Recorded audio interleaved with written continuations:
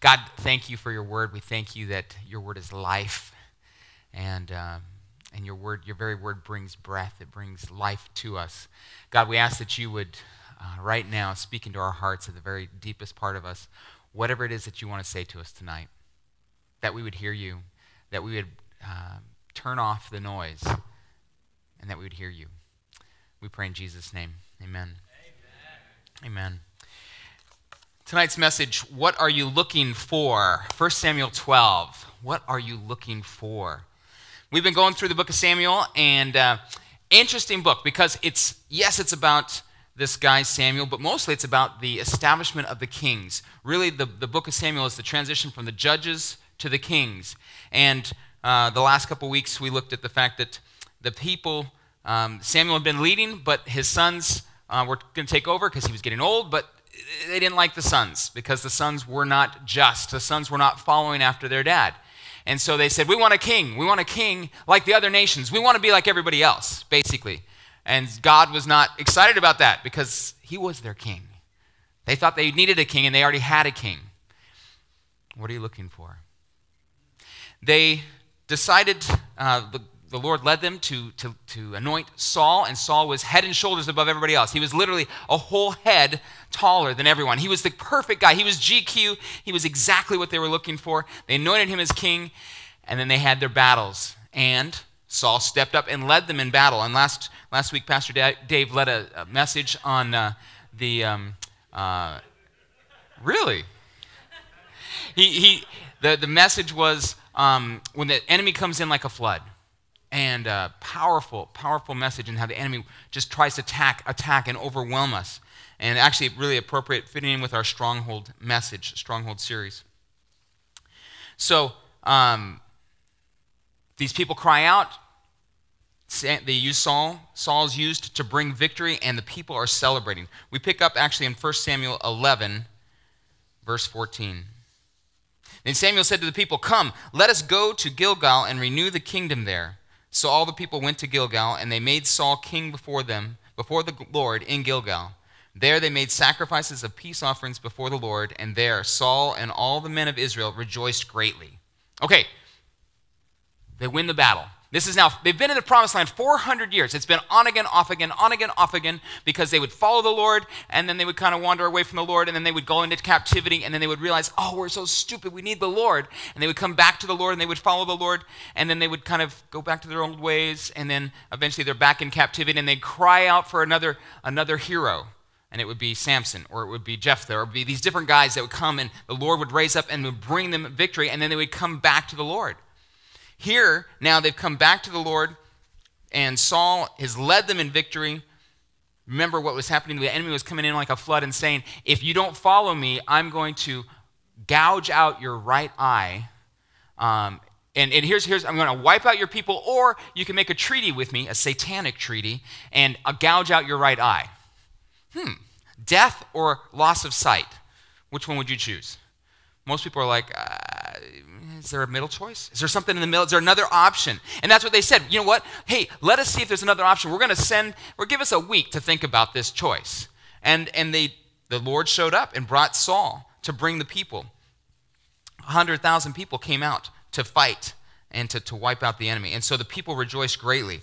Well, that takes us now to, they go to Gilgal to reestablish the kingdom, basically to, to coronate the coronation ceremony of Saul. Okay, this is, this is a big deal. They just had a huge victory. They've already anointed Saul, but now it's going to be the coronation. Now it's going to be the chance to say, here's our guy. And they do it. And there's celebration, there's a party. And Samuel steps up. Samuel's old, and he steps up and he says, I have one last thing to say. Remember, Samuel has been the guy that had been the leader, and he's going to pass the mantle. Watch how he passes the mantle. 1 Samuel 12, verse 1.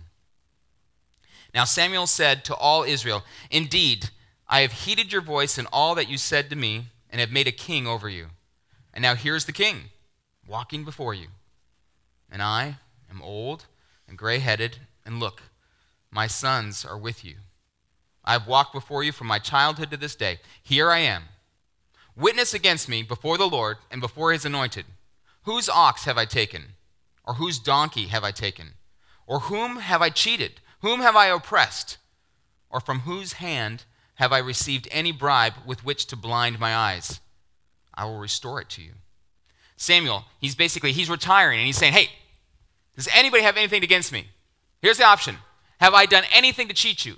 Have I ever stolen anything? Anybody? Anybody? Everybody's like, no. Remember, his sons, his sons had done that. But for him, himself, no. He hadn't done any of that. And so he's saying, hey, listen, have I cheated in any way? I will restore it right now. Verse 4 And they said, You've not cheated us or oppressed us, nor have you taken anything from any man's hand. Then he said to them, The Lord is witness against you, and his anointed is witness this day that you have not found anything in my hand. And they answered, He is witness. He says, basically saying, Don't come back and change your mind. Here was your chance. And the Lord is the witness, saying, Yes, okay, we agree. It's a reminder, too, that uh, God is a witness. God's a, a, reminder that God sees everything, every vow that we make. Uh, sometimes the Promise Keeper movement was a huge thing, you know, what, 20 years ago now. And um, some of the, the, the people that spoke against it were speaking against it because guys were standing up and taking a vow, but they weren't necessarily serious about the vow. In fact, what would happen is there would be a, a men's conference, there would be a Promise Keepers conference, and the, the hotels would tell you that the, the amount of porn that was watched during the Promise Keepers conference was higher than the normal. What? Because we like to say the right thing, but to do the right thing is a whole lot harder. Say it or do it. And that was the, that was the challenge of Promise Keepers, getting a lot of people to say the promise, but it's a whole lot harder to live the promise. Well, verse 6 Then Samuel said to the people, it is the Lord who raised up Moses and Aaron, and who brought your fathers up from the land of Egypt. Now, therefore, stand still, that I may reason with you before the Lord concerning all the righteous acts of the Lord which he did to you and your fathers. When Jacob had gone into Egypt, and your fathers cried out to the Lord, then the Lord sent Moses and Aaron, who brought your fathers out of Egypt and made them dwell in this place. Samuel's here. He's going through this list of deliverers. He's saying, You know, you guys were in bondage for 400 years in Egypt. Okay, you went into Egypt. Basically, Jacob brought the people into Egypt because of the famine. They were there for 400 years. At the end of 400 years, God brings a deliverer, Moses and Aaron. They, want, they take them to the promised land. Joshua takes them through the promised land, conquering the promised land. It's been almost 400 years again, and they're crying for a deliverer. They're crying for a king to lead them. Verse 9 And when they forgot the Lord their God, he sold them into the hand of Sisera, commander of the army of Hazor into the hand of the Philistines and into the hand of the king of Moab, and they fought against them. Then they cried out to the Lord and said, We have sinned because we've forsaken the Lord and served the Baals and the Ashtoreths. But now deliver us from the hand of our enemies, and we will serve you. And the Lord sent Jerubbaal, Bedan, Jephthah, and Samuel, and delivered you out of the hand of your enemies on every side, and you dwelt in safety. Basically, as I said, they wandered away, and God brought them Jerubbaal, which is the, the, the kind of the victorious name of Gideon, okay? Basically, making a fool of Baal um, was, that, was his name. And then Bedan, which was another name for Barak, speaking of Barak and Deborah. And then Jephthah and Samuel, these different leaders, these different judges that God brought to bring deliverance. God was always there. God was always on their side and always had somebody if they just simply turned to him. But it was notice it was a generation of flip flopping, back and forth. One generation follows, the next forgets. Today I was um, taking a running some errands with my son, one of my sons, and he, he was six year old, six years old, and we were going to the bank, and we've been to the bank a bunch of times, and so this here's how it works. We you know we get out of the car, he follows me into the bank, he gets uh, he, he waits patiently, and at the end they give him a lollipop. Okay, that's that's the routine. Okay, and he knows. I said we're going to the bank. He's like, oh, I get a lollipop. That's all he cares about. All right. So we get to the bank, and we've done this multiple times. You know, we get out, okay, so I, am I'm, I'm in a hurry. So I get out of the bank, I get out of the car, and I start walking around, and I go up, and I look, he's not behind me. Where'd he go? And of course, he, he's at the bank, but he found something else. Oh, he's kind of trying to walk on the, the, the, the, uh, the, the, the, parking things. You know, he's walking on the parking things, he's going the other, whoa, whoa, whoa, Ethan, come here, come here, come here. Where are you going? We're going to the bank. Oh, oh, okay. And it, it reminded me, it's like, we've been to the bank, we've done the routine multiple times, and I thought he had it. You just follow me. He found something else that was kind of fun. And he was doing the fun thing. And that's the same thing with our kids, all of our kids, generation to generation. You may follow the Lord, but what's going to well with your kids? We think that they're following us. And a lot of times they are. You know, I, we have a, a two year old foster daughter that's with us, and anything I say, she says right back, you know, good, bad, or otherwise. And so she's constantly saying things, and, and, and Brody will say something, and Ethan will say, and, and she's just imitating everybody, anything. In fact, if, he, if Brody goes like this, she goes, you know, she doesn't know what it means. She doesn't know anything. She just, all she does is whatever, we, whatever she sees, she does. At two. Now goes six to seven, huh, ain't happening anymore. They got, they got a mind of their own. They're following their own thing. They're going their own way. The challenge is we think that they're following us because we've done this so many times. They know. They know what they're doing. And then we look back and they're not there. And that was the problem with Israel is that one generation follows, the next one forgets. One generation follows, the next one forgets. And that's why they kept going back and forth. They kept going back and forth. And so the Israelites said, We've got a solution. This heavenly king thing doesn't work because we can't see him. But if we had a permanent king, then we'd all follow. We'd all follow. Hmm. Verse 12 When you saw that Nahash, king of the Ammonites, came against you, you said to me, No, but a king shall reign over us when the Lord your God was your king. So many people are looking for something that they already have. It's one of Satan's biggest temptations. On the screen, you have uh, Genesis 3. You guys know the passage. Um, this is uh, the temptation, the fall, and um, the serpent's more cunning than any beast of the field which the Lord God had made. On the uh, next screen. There we go. The serpent was more cunning than any beast of the field which the Lord God had made. And he said to the woman, Has God indeed said, You shall not eat of every tree of the garden? And the woman said to the serpent, we may eat the fruit of the trees of the garden, but of the fruit of the tree which is in the midst of the garden, God has said, You shall not eat it, nor touch it, lest you die. Then the serpent said to the woman, You will not surely die. For God knows that the day you eat of it, your eyes will be opened, and you will be like God, knowing good and evil. Now, Satan's biggest lie is always to sell us something that we already have. The first lie is you know, there's a couple different things. No, no, no, no, no, no. Back. Go back. The first lie is, is to see, um, is, is Satan saying, the first lie is, well, hey, did God say you can't eat of any tree? He can't, you can't eat of any of these trees? He's twisted it. There's only one tree that they can't eat of, but Satan just twisted it a little bit. You can't eat of any of these trees? Oh, no, no, no. We can eat of all the trees, just this one. Oh, but God's holding out on you because if you eat of that one, you'll be like God. So the first thing is the first lie is that God is not good. See, Satan's good because he's telling you the truth. Satan's telling you the truth because the truth is that if you eat of this, you'll be like God. In other words, you'll get something because God's trying to hold out. He doesn't want you to have everything, He really doesn't love you that much. He loves you, but he doesn't love you that much. And that's the first lie. And Satan lies to us repeatedly about that. Maybe, well, I know Satan, I know that God loves the world and he loves me, but he doesn't love me as much as he loves Pastor Dave. Because anything that Pastor Dave does just happens. It just, just God shows up. Right? It's just that there's just a sense of like, well, whatever he touches is just whoosh. Jesus loves him most. And that's what sometimes we have that feeling. Sometimes we think that. And Satan is throwing us that lie. That's the first lie, is that God is not good. The second lie is that God is not good enough. God's not good. In other words, he's not really completely good. He's holding back. Or he's not good enough. In other words, he's not enough to meet all your needs. You need something more. Either God's not good or he's not good enough. See, in the, um, in the garden, the temptation was you will become like God. Satan's trying to t- sell Eve something she already has. She was made in the image of God. She already was like God. And Satan's going to try to tell her, You don't have this, but let me sell it to you. Wow. And she bought it. And we think that we're, well, we're more sophisticated. Genetically, she was sharper and brighter than you are. All right? So if, if anybody had a chance, she did. Satan was deceptive. Satan knew that he could just twist things and he could just just distort things. Just just make God out to be maybe, you know what? If I can twist the way you view the past, I might be able to control your future.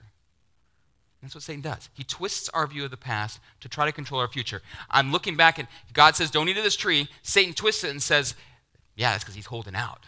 No, he's actually trying to protect you. Satan twists. Is God good or is he good enough? Well, here the Israelites are falling for those lies. They're falling for some of those problems. It reminds me of the, of the situation, the story of um, William Randolph Hearst. William Randolph Hearst was a media mogul back in the early part of the 19th century. This guy was basically was a net worth of half a billion dollars, okay, uh, in today's money. Um, huge, hugely wealthy. He basically controlled 30 different newspapers. In terms of control of the media, he was the guy. He was also a huge art collector. He had a, a ranch that was uh, 240,000 acres. Okay? That is a big ranch. My parents have a big ranch it doesn't even come close to that. Okay, 240,000 acres. That's basically the land. That's the the the. Um, if you take Palm Beach County and, and just take the developed part of Palm Beach County, that's basically Palm Beach County. Okay, the developed part. Um, and uh, so he had uh, an affinity for art, and he loved to collect art. He just had to have lots of art. And um, he found he was reading the, the, magazine one day about this beautiful piece of art, and he, and he saw a, a color photograph of it. And He said, "I have to have that." And so he called his agent and said, "I need this piece of art. Find it. Whatever you do, find this piece of art for me." And this agent spends months looking, and and goes to New York, and, and goes to Chicago, and Toronto, and Washington D.C., and Buenos Aires, Los, Los Angeles, all over, searching on different leads, trying to find this one piece of art. Can't find it. Hearst, who's a megalomaniac here, He's, he doesn't tolerate incompetency and immediately fires him. He hires a detective agency, and this detective agency um, begins searching, and they search all over Europe. And they go to um, Lisbon and, and um, um, London, Paris, Prague, Oslo, all these different galleries throughout Europe trying to find this, you know, following this lead and this lead and this lead. And they come back after months and say, Sir, we can't find it. Frustrated, he, he, he fires them and he takes one of the detectives from this agency and says, You find it, no matter what the cost. I want, I want this piece of art. This guy begins several months um, continuing to, to, search and search and search and, and all over the world. Hearst has spent over $100,000 in two years searching for this piece of art. And the, the man finds it. And he comes to Hearst and he says, I've got some good news and some bad news. The good news is this piece of art is in excellent, it's mint condition. Hearst is like, whoa, what could be bad news? You already own it. It's in your, it's in your warehouse six miles down the road. He had spent hundreds of thousands of dollars of his money and his time searching after this piece of art that he had to have that he already had. How many Christians are the same way? that we're looking and searching for that one thing when we already have that one thing. We're looking and we're searching, we're trying to, we're striving after this, we're striving after that, and God has already given you the kingdom. God has already given you everything pertaining to life and godliness. God has given you everything according to your needs in Christ Jesus. What are you looking for? Is it possible that you already have it in Jesus? Uh, that's why this prayer in, uh, on the next screen, Ephesians 1.18, uh, is a great prayer. Having the eyes of your heart enlightened, that you may know what is the hope to which he has called you, what are the riches of his glorious inheritance in the saints, and what is the immeasurable greatness of his power toward us who believe, according to the working of his great might. What a prayer. You want to pray a blessing over something? That their eyes would be open, that they could see what they already have. What do you have in Jesus Christ? that your eyes will be open to know the, the hope to which he's called, to the riches of the glories of his inheritance, the hope that you have. To know the hope, to know the inheritance that you have. Most Christians live as paupers, even though they're, son, they're children of the king. That's the way most Christians live because they don't appropriate the promises, they don't take possession of them. Are you looking for a mate? Maybe Jesus wants to take you deeper so that you're satisfied in Him first.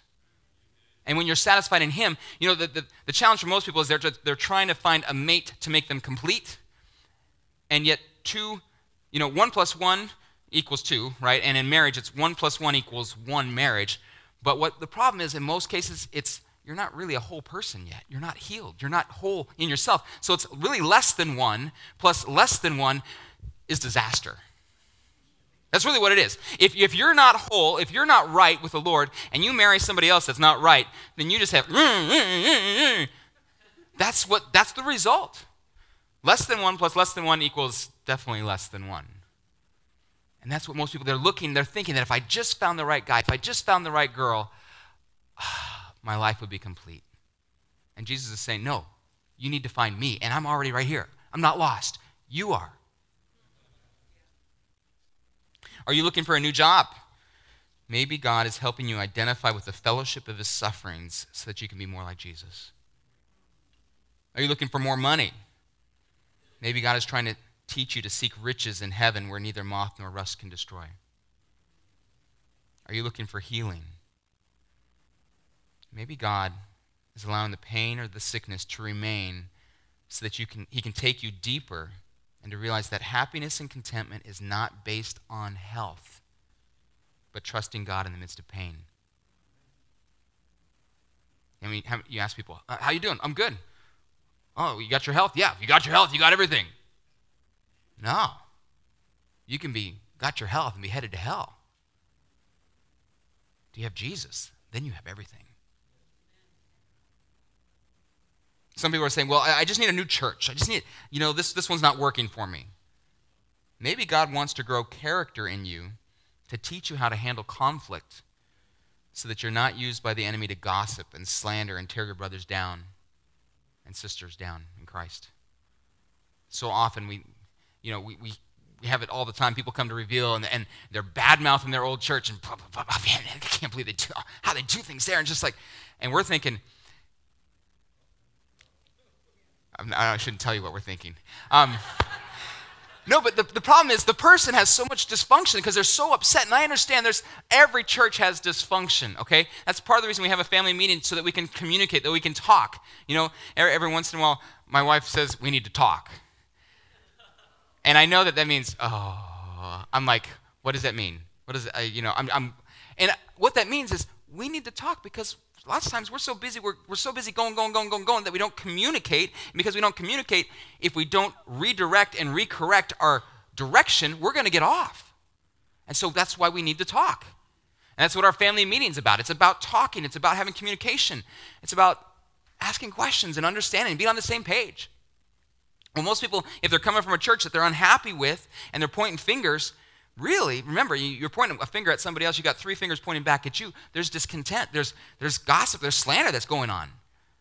And so, part of me, when, you, when I hear that, it's like, you know, I pray that the Lord would take you through that. And, we, and usually, what Dave and I would do is kind of encourage them to go back and deal with it biblically. Matthew 18. You go to the person that offended you. You don't go to all the other churches. You don't go to all the other people in the congregation. You go to the person that offended you or that upsets you and deal with the thing instead of trying to go to someplace else. Anyway, point being, what are you looking for? Is God already given it to you in Christ Jesus? Much of the time, He has. That's what had happened with the Israelites. He was already their king, but they were looking for a king. They already had one, they already had the perfect king. And we looked at that a couple chapters ago. Um, that a new king would be totally different and would would take, would take, would take. And Pastor Jacob's message from a couple weeks back, you need to listen to about kings. They take, they take, they take. But our King Jesus, he gives, and he gave that we might have life. So, verse 13, 1 Samuel 12. Now, therefore, here is the king whom you have chosen and whom you have desired. And take note, the Lord has set a king over you. If you fear the Lord and serve him and obey his voice, and do not rebel against the commandment of the Lord, then both you and the king who reigns over you will continue following the Lord your God. Did you, hear, did you just read what I just read? If you obey and you follow the Lord, then you will continue, and so will your king.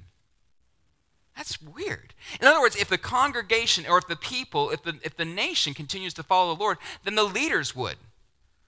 So, what does that say if the leader's not following the Lord? means the people are not following the Lord. So often we can get so upset at our government, what's happening here in Florida, and what's happening in the United States, and what's happening, all these things.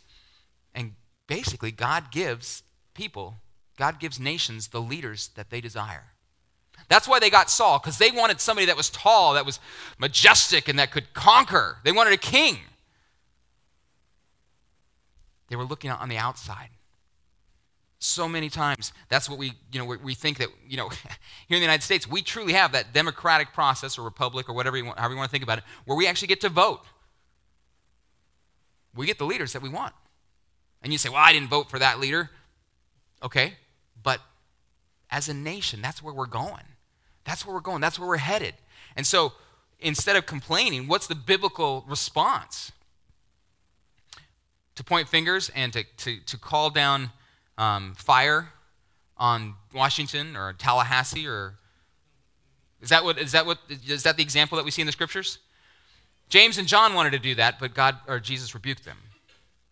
Instead, what we see is is uh, in Chronicles, if my people who are called by my name will humble themselves, not hurl insults, not call fire down, not do all these things. If my people will humble themselves, I will heal their land. Then I will return. And they pray and seek my face. You know the verse. The whole point is we get so upset and we get so busy calling out things, and God's calling us out. And He says, Hey, you got what you asked for.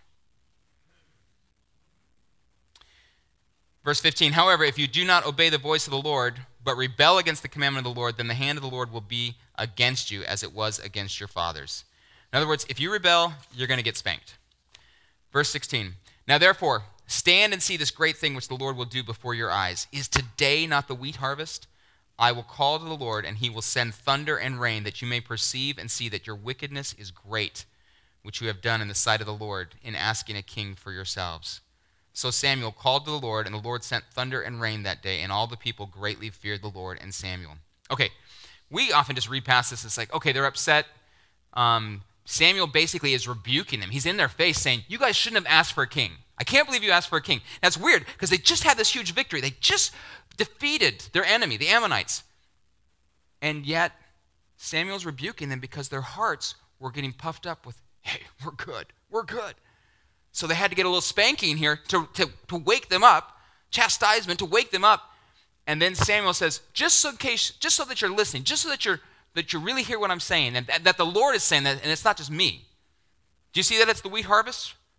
Okay, the wheat harvest um, was early in the summer. It was a dry time. And the, the wheat, the way wheat is, you have to have the, the wheat has to dry out. Okay? So the sun has to bake it. You know, we golden amber waves of grain. You know that, right? Okay? That America or whatever it is. So what happens is my um, my parents were uh, farmers, and so we we did um, we did wheat harvest. And what happened is we had to wait, and we we prayed that it would not rain. During the week, you do not want rain during the harvest because you have to wait till it dries, completely dries, and then boom, you got to come in and harvest it. And what happens is if it rains, two things could, could happen. If it rains, um, you have to wait till it dries out again, number one. But also, if you harvest it and it's even a little bit damp, it can rot. Okay? The other thing is out there, uh, when, it, when it's dry like that, because it's, you're waiting for it to dry so much, uh, you have rain, it also says that there was thunder. Well, thunder means there's lightning. And lightning means that there's lightning hitting the ground. And lightning hitting the ground when there's dry wheat means fire. So here's their sustenance, here's their whole livelihood, their whole economy. And Samuel says, In case you don't believe me, here's a little wake up call. Boom! Rain, lightning, and the people are like, they immediately repent. They realize, wow, God is serious. God is serious. And their response, verse 22, or verse 19. And all the people said to Samuel, Pray for your servants to the Lord your God, that we may not die, for we have added to all our sins the evil of asking a king for ourselves. And Samuel said to the people, Do not fear. You have done all this wickedness, yet do not turn aside from following the Lord, but serve the Lord with all your heart. And do not turn aside, for then you would go after empty things which cannot profit or deliver, for they are nothing. So here's the, a couple things. Um, Samuel says, Hey, I'm going to, um, yeah, I'm praying for you. And, and they, they repent. But he says, there's the temptation to follow empty things. And in our society today, man, our society is filled with lots of empty things that you can follow. There are so many things. I mean, the average American spends 33 hours in front of a box.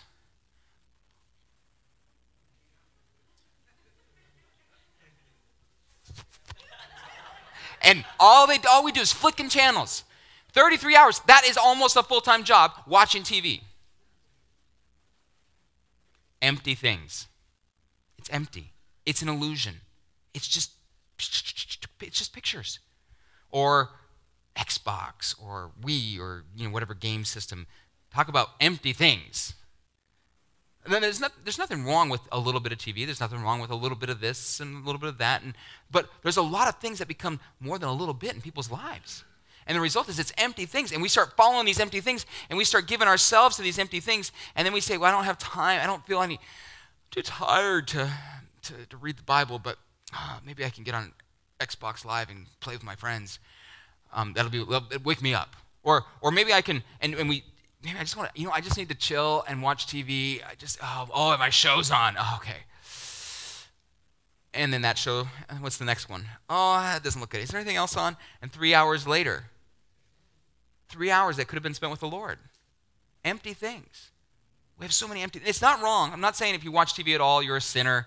Yes. Um, I'm saying, just kidding. If you watch, there's nothing wrong with watching TV, but is it an empty thing? Is it something that's controlling your life? Is it something that's pulled you out of where God wants you?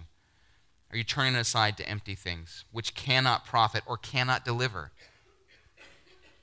Sorry, Oprah, Dr. Oz, they cannot deliver.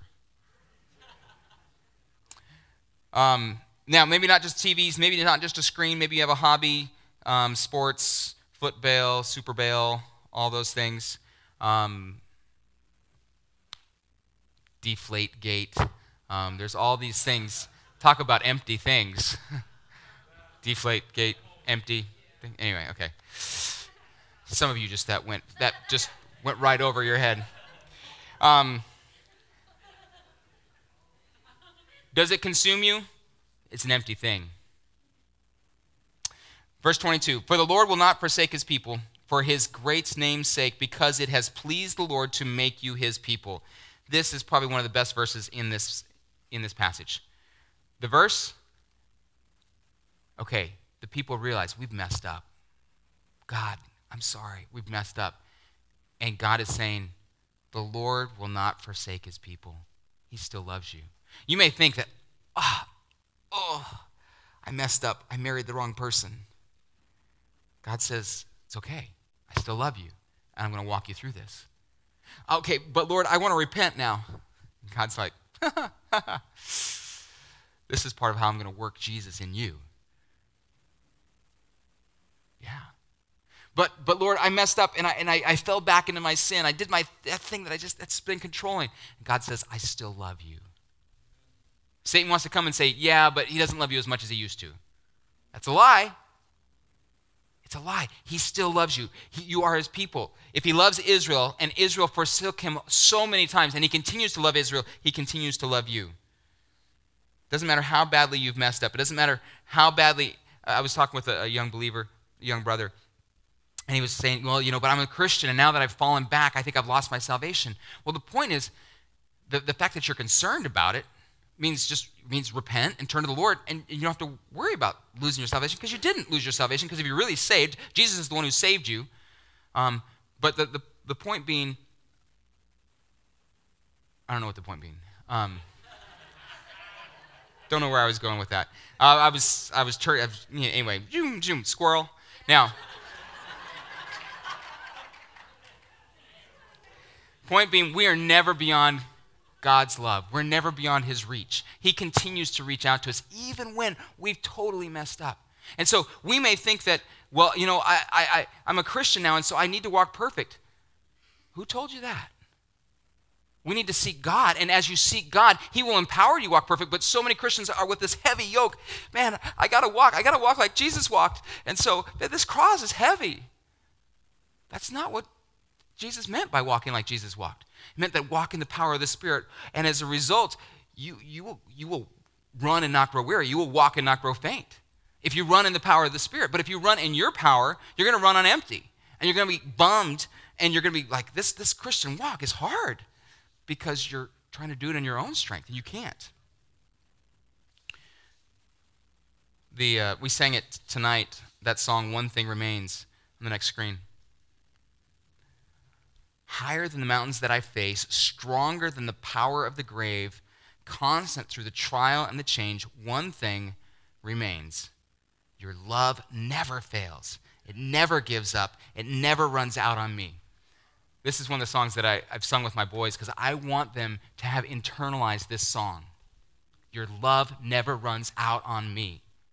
And so when you're when you're in the midst of sin and the Lord just brings that to mind, it's like, I'm going to go the other direction. When you're in the midst of brokenness and thinking, God, I, I, I failed you, I, I did it again, I'm sorry, your love never runs out on me. Your love never fails. Wow. We need to be reminded. That's why we sing these songs, is to get them in our heads so it becomes part of us. And it goes from here to here to here. It goes from our head to our hearts into our hands, and that it's just a, a total act of worship unto the Lord. His love, on and on it goes. It overwhelms and satisfies my soul, and I never, ever have to be afraid. Be afraid of what? Be afraid that he doesn't love you. Be afraid that he's given up on you. Being afraid that he's left you. Never, ever have to be afraid of that. And then the bridge in death, in life, I'm confident and covered by the power of your great love. My debt is paid. There's nothing that can separate my heart from your great love. Like that's practically taken right out of Romans 8. Wow. Wow. Well, let's finish up the, the chapter. Verse 23. Moreover, this is Samuel speaking. As for me, far be it from me that I should sin against the Lord in ceasing to pray for you. But I will teach you the good and the right way. Only fear the Lord and serve him in truth with all your heart. For consider what great things he has done for you. But if you still do wickedly, you shall be swept away, both you and your king. That warning at the end is not God saying, but I'm going to jerk back my promise. No, he's saying, I love you enough to spank you if I need to. I love you enough to discipline you. Whom the Lord loves, he chastens, he disciplines. But he says there uh, a couple things. Moreover, as far as it be, far be it from me that I should sin against the Lord in ceasing to pray for you. It shows you that Samuel was a man of prayer, that he put prayer first. The, the apostles put prayer. If you're, if you're desiring to be a leader, prayer has to be first. The disciples in, in um, Acts chapter 6, they devoted themselves to prayer. Um, it says, it says um, it should not be that we should wait on tables and give up the ministry of prayer and the word. They had to make prayer first. It's prayer first and then the word. So many people want to be teachers and they, they, they want to be strong in the word, but they're not strong in prayer. We've got to be prayer and the word. Prayer and the word. But far be it from me that I should sin against the Lord in ceasing to pray for you. But I will teach you the good and right way. We need to, we need to follow Samuel's example and be that and maybe God's called you to be an evangelist. Maybe He's called you to be a prophet, pastor, teacher, whatever office gift He may have given you, apostle. We need to walk in it. So, tonight, what are you looking for? You came here tonight for something. You think about it. Every single one of you came here tonight for something. Came here because you wanted to see somebody. You came here because you wanted to feel the Lord. You wanted to be touched by the Lord. You wanted to sing some cool songs. You wanted to see, um, you know, Pastor Dave. You wanted to talk to somebody, you wanted to find a date, you were hoping, you know, whatever, right? You name it. Everybody had a motive for coming here tonight. What are you looking for? Does Jesus want to answer that in himself? Are you looking for something instead of someone to meet your needs? That's the first question. Second thing to think about is about the Lord's love that he never runs out. The Lord's love, he never runs out, he never fails. And are you doubting the Lord's love at times? This past week, have you doubted his love? Have you looked back this past month and there's times where you're just you're not sure. When you're walking through the dark, don't doubt what God has told you in the light. You hear, the, you hear the voice of the Lord. You've read the word. God's word is true. And even though my experience sometimes wrestles with it, my experience is saying this thing, but God's word is saying this thing. What I realize is that my experience is, is stilted, is skewed, is twisted. I need to be looking through the eyes of God's word. I need to be understanding it through the word. God, help me to have your vision. God, help me to experience your love and to know it experientially that I could be set free, that I could walk in that love and that I could not fear it, that I could not be afraid of it. That's the question. I'm going to ask the worship team to come up and just close, maybe in a song like One Thing Remains or whatever they've got. They actually they have a couple songs that they can play. You guys can play a couple songs, can't you? um, but during this time, take some time with the Lord and ask the Lord, what did you really come for here tonight? What did you come seeking? Did you find it? Did you find him? Let's pray.